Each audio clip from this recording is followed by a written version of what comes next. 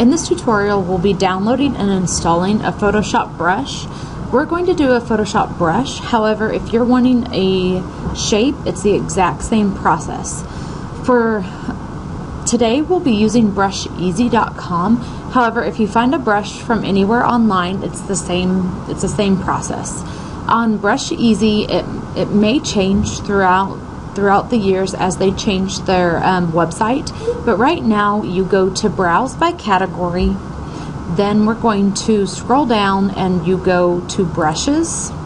And then you'll be able to see a whole bunch of different brushes.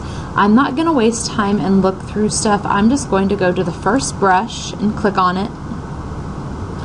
And you just click on Free Download. You have to wait for this to go away and then you'll just see it downloading right here. Now when you download, your file is in what's called a compressed folder. So before you can do anything else, we have to extract the file.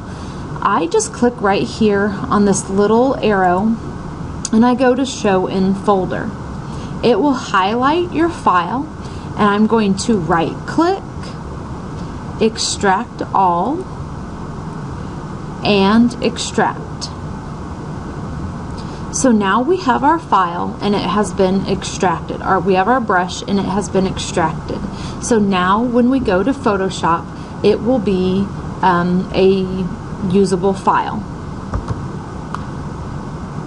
So I'll come over here and close this down. I was working on a Studio pass earlier. And I'm just going to do File, New, and just open up a random document and I'm going to go to my Photoshop brush and go right up here like I am choosing a brush. And I'll go right over here to this over arrow and down to the middle where it says load brushes. Now I have to know where that went. I tell you to change your downloads to go to your desktop. So I'm going to click on desktop and look for my downloads at this point, I need to know what that brush was called. I don't have very much here, so it happens to just be right here, and it's called Flower Brushes. And I'm going to click until I can find it.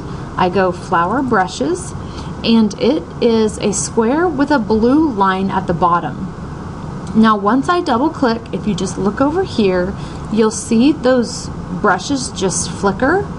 And if I go towards the bottom, I now have a bunch of flower brushes. If I click,